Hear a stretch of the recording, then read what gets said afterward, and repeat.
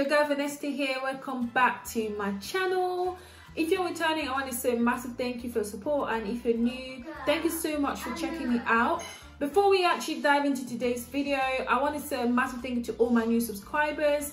Thank you so much for support. I really, really appreciate you. And thank you so much for those of you guys who were subscribed before as well. I really appreciate your support, guys. Thank you so much. Thank you, thank you, thank you, thank you, thank you. Okay, so let's get into today's video. So I'm back with another hair video. And this video is basically my tips on how to grow uh, long, healthy hair. I get this question a lot about how did you grow your hair? You got so much hair you know, how long have you been growing your hair, da da da da da da. So I thought, why not make a video about it and just sort of share it with you guys. And some of you might find it helpful, especially if you're trying to grow long hair and healthy hair, or maybe your hair is thin and you want to make it, you want to, you want to um, have thicker hair or fuller hair. Okay, guys. So my tip number one will be moisture. Now, moisture is particularly important if you're trying to retain length because the more moisturized your hair is, the less likely it is to break and the more length you're able to retain. So moisture is really important. I have actually made a, a, video about how I moisturize and seal my hair. So you can actually check that video out. Now my tip number two will be scalp massages. Now Scalp massage is particularly important because it increases the blood flow to your scalp. So you want to make sure you massage your hair perhaps every day if you can or every other day. You can do this using your fingers or just a, a brush like a, a scalp brush. Now, massaging your hair can also help in getting your hair fuller and also uh, to activate hair growth to, or promote hair growth. So if you have thin hair, you want to make it thicker, scalp, scalp, scalp massages are really, really good. So I would say definitely consider doing that if you, you're not doing it already. Now the tip number three will be avoiding excess oil. Now I have a little story to tell you guys about this because I am actually uh, guilty of that. Well, to be honest, I don't think I knew any better then, but now I do. Um, you know most people think that putting too much oil on their hair is gonna is what is gonna make it moist. I remember when i was growing up and i was getting my hair done perhaps by my mom or my sisters or my aunties i would always get so much my hair would just be so drenched in oil like i'm not even kidding. Because I had really uh, brittle hair, it was so dry and I used to cry a lot when I was doing my hair because it was just that uncomfortable. So they thought, okay, it's just dry because it doesn't have enough oil. So the amount of oil that will go in my hair will be ridiculous. But and i think people still think that that's the way to do it today. And i don't actually blame you if you think like that because it's just one of those things that we've been accustomed to from a little age. But it is so far from the truth. When you put too much oil in your hair especially your scalp you are blocking your pores or blocking the hair follicles. Now if your if your pores are blocked then the sebum that your your scalp produces that nourishes your hair doesn't actually get to the hair itself if that makes sense. So it stops it from growing. So don't put too much oil on your hair especially your scalp. There are so many ways of moisturizing your hair making sure that you know it is more manageable. So like i said i've got a few videos and there are more videos coming about my hair and how i take care of it. So you can actually subscribe and hit the, the notification bell so you don't miss out on any of those videos. So please don't put too much oil in your hair. Definitely oil is needed but not too much of it. Now my tip number four is exercise. Exercise is really important or exercise yeah exercising is really important because it promotes it increases the blood flow to your scalp. Not only is good for your body because you're able to stay fit and healthy but also it, it sort of brings more nutrient to your scalp therefore promoting hair growth. So if you're not already exercising i would definitely suggest that you incorporate some sort of exercise into your routine. Um, it could just be maybe 10 15 minutes it's definitely worth you know um, uh, doing that a day. You don't have to do it five days a week but some sort of exercise is definitely needed or sort of yeah it's it's gonna help you in the long run. Now tip number five would be eating the right food. Obviously we all know the benefits of eating right eating healthy eating a balanced diet that only is not good for your for your general health but it's also good for your hair growth. Now our hair needs fatty acids that you can get from things like salmon nuts um, you can also get them from olive oil and all that but salmon nuts and mackerel are really good because they're rich in omega-3 6 and 9 oils. Now those ones are very good in promoting hair growth and also in making sure that your hair is nice and soft so definitely incorporate those things into your diet. Or if you can't because perhaps you don't like fish or you don't like nuts or you're allergic to nuts you can buy the capsules. They are available over the counter. So you can just take maybe one capsule a day and you have your dose of what you need um for i mean for for that particular time. So i would say definitely incorporate that. Now the other thing is amino acids. So that comes from protein as you all know, or if you don't know, our hair is made of a, a protein called keratin. So um, you want to make sure that you have enough protein in your diet because that's what's going to give your hair enough uh, thickness. And also your hair being thick just means it's or having enough protein in your hair just means that it's nice and thick and it's strong. So it's less likely to break. Therefore you're able to retain length. Okay guys the other thing is antioxidants. Now, antioxidants are really, really important. Again, for our general health, but also for our hair. So you can get them from things like eating uh, things like raspberry, blueberries, you know, um, all the berries.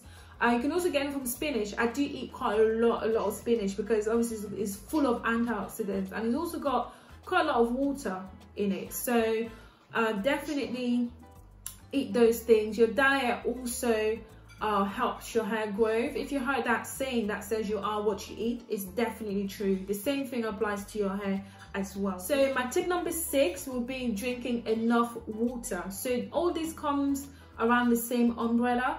So water, again, it relates back to the other tip, the first tip that I talked about, which was moisture. So drinking enough water just keeps you hydrated in general. Your skin will look good, your hair will look good, and you might even end up losing weight, just like I am trying to lose weight. I'm documenting my journey on this channel as well. So if you are in the process of losing weight perhaps, or you are on your journey, definitely, definitely sign up. Definitely click that subscribe button and the bell notification so you don't miss out any video that I'm doing regards to my weight loss. So um, yeah so water water is really really really important. Now my tip number seven i'm not sure. I, I think i lost count. I will write it on the screen uh, if i'm getting it wrong. Okay guys? So i would say low manipulation. So you want to make sure that you don't over manipulate your hair or you don't manipulate your hair unnecessarily so protective styling is going to be your best friend, especially if you're, if you're starting out from scratch and you're trying to grow. Um, so yeah, definitely put your hair in protective styling. It makes sure it, it makes sure that you're not constantly on your hair, like touching it, fiddling with it, because in the process of doing that, you're most likely to cause breakage, and that's how your hair eventually is going to lose its length or its fullness. So you want to make sure that your hair is in protective styling as much as you can. Obviously, the the times that you you can manipulate your hair is probably when you're massaging it but it shouldn't really cause any trouble. It's not like you're actually fiddling with the hair strands you're just massaging your scalp. So it should be pretty straightforward. So low manipulation protective styling definitely is needed. My tip number seven or eight is linked to what i just said about low manipulation. Don't do your hair when you're angry when you're tired or when you're stressed. Trust me, if you do your hair when you are one of those things, you're most likely to snap your hair, trust me, because first of all, you're not going to have the patience to go through the detangling process. And also, you're most likely to break your hair because essentially you're not patient with it or you're not doing it properly you want to just rush it through. So personally i don't do my hair when i'm one of those things. If i'm tired if i'm stressed if i'm angry nah I'm, i won't touch my hair. Even if it's in a bad condition I'll just leave it. And when I feel better I will now come and handle my hair. So yeah make sure that you don't sort of do your hair when you're in one of those situations. So my tip number eight or nine is it is washing your hair guys wash your hair wash your hair it's really really important i know that you probably heard before that um, you don't want to wash your hair too much because it's going to strip your, your hair of its oils. Yes, that's true, but that's if you're using shampoo all the time. Now, you can wash your hair with other natural remedies that don't necessarily strip your hair of its oils, like using apple cider vinegar or baking soda. You can use that. Or you can actually co-wash co-washing is actually really good because it adds moisture to your hair. So co-wash is basically just using conditioner to wash your hair. Um, so what i do i would wash my hair every two weeks or three weeks the latest sometimes i get really busy with the kids and i don't get around to doing it. I won't even sit here and lie. But it doesn't happen very often that i don't wash my hair past three weeks. Like no that's just the no no so you want to make sure that you wash your hair every week every two weeks uh, oh sorry every three weeks maximum. And in between you can co-wash. So in between use conditioner to wash your hair instead so that sort of make sure that it's got enough moisture it's basically just kept so well. my tip number 10 if this is wrong like i said i will write on the screen because i'm not actually i haven't written this down. So my tip number 10 would be uh, maintaining your hair when it's in protective styling as well. Because sometimes when we have our hair under a wig like some people wear wigs to uh, as protective styling. To be honest if you wear your hair under a wig and you leave it for like a month you don't even like you know um, spray it with water to add moisture to it it's not really protective styling because when you take that wig off your hair is going to be really tangled and you're gonna have a lot of like shed or dead ends you know? So you want to make sure that even if your hair is in protective styling that you're still um, sort of looking after it. So moisturizing it. What i do at night time i don't do it do this all the time now because trust me it's not easy with two kids. But it's one of those things that I know will get easier and I will definitely get back to doing it. I used to moisturize my hair every night so I'll just spray water on it, put it in twist and then just hold it, put my scarf on and go to sleep. And trust me, if you do this when you wake up in the morning, your hair is going to feel so soft and luscious and so easy to manage like to even style you know. Or even if you're styling your hair the night before for work the next day make sure you use water eh, as part of that style if that makes sense just to keep it moist. So my tip number 11 will be to trim your hair i know when you're trying to retain length the last thing you want to do is to cut part of your hair out because you're like oh my god i'm losing length. But no. Sometimes your hair has dead ends split ends you know so you don't want to keep that. So you need to get rid of those so that new natural healthy hair can continue to grow. So there's no point in on hanging on to damaged hair just for the sake of you feel like you've got long hair, if that makes sense. So if you've got split ends or dead ends, it's definitely worth trimming it. I don't trim my hair all the time. I just watch it. I know usually when it's time for a trim because my hair gets really, my ends get really dry, brittle, and no matter how I moisturize it, it just doesn't feel the same like the rest of my hair so that's how i know that it needs a trim and i will just trim it so i know some people are kind of like on a schedule. They say okay i'm going to trim my hair every three months every six months. It's not really necessary because if your hair hasn't got dead ends or split ends you don't necessarily need to trim it as such i would say. So just just listen to your hair. The last thing i'm going to leave you guys with is patience okay? So your hair is not going to grow long it's not going to get full overnight this takes time. So in the process just enjoy it you know enjoy your hair at whatever stage it's at. You know find styles that are suitable for your hair type and suitable for your hair length and enjoy it while while it's still going on and your hair will grow.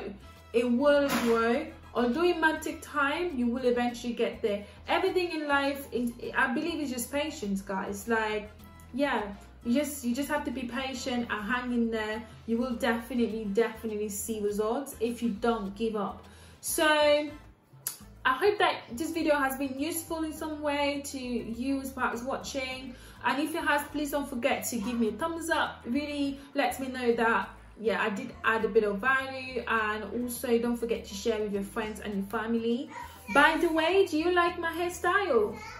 If you like it great because I do. I have actually um, got this style in one of my videos on my hairstyle videos. I will link it in the description box below so you can actually uh, check that out if you want to reproduce it. Don't forget to subscribe for some more hair related content. I'm also on a fitness journey so you will see a bit of fitness on here and also i'm a mom like i said so i will share my experience of motherhood that can help other moms out there as well. So those are the type of videos that i make. So if it's your first time here and you're interested please don't forget to subscribe and i'll catch you in my next video. Bye now.